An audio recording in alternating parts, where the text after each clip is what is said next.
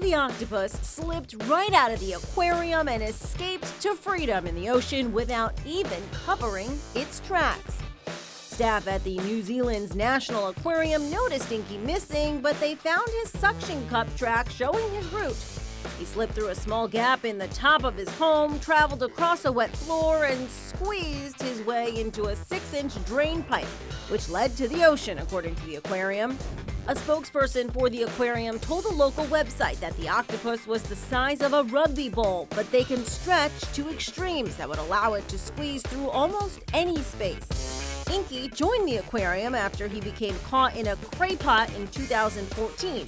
He got his name during a contest. Staff at the aquarium are missing the octopus, but happy he has returned to the ocean. Be sure to watch Inside Edition.